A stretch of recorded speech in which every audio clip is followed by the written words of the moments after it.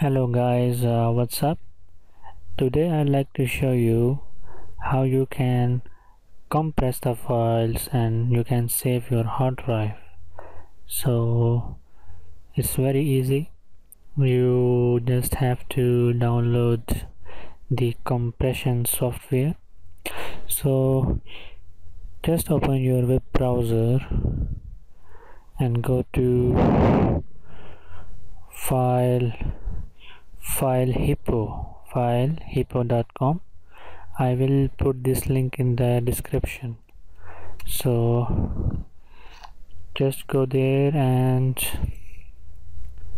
type in the search box win roar and click go. And here you can see there are two options. One is 64 bit the second one is 32 bit. So it depends on your operating system. Uh, is it if is it uh, 64 bit then you have to install 64 bit. If is it 32 then you have to ins install 32 bit.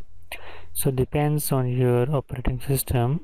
In my case I go for 60 64 bit so so once you are ready to download just click the link here.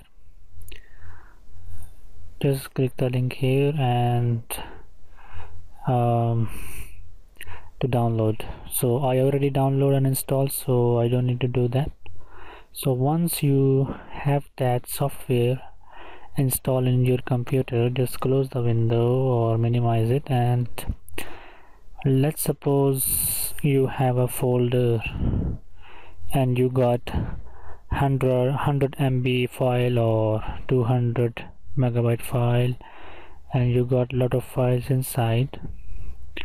So uh, let's suppose this file here this folder here uh, they got uh, this file size is around 200 MB and you want to compress so just right click and you can click here add to. So you will see uh, depends on your file name or folder name. Or you can go here to go for more settings. Once you once you uh, choose your uh, um, desirable options just click ok so once you do that here is the file. And then you can delete this one.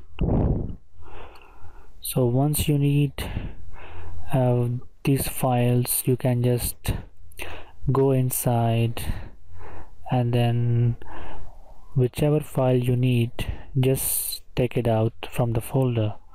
So as you can see so that's it guys for this video. So if you have any questions please do not hesitate to contact me. If you like the video please subscribe rate and comments. And please visit my website for more videos uh, www.kiwebco.co.uk uh, thank you guys. Uh, see you for the next video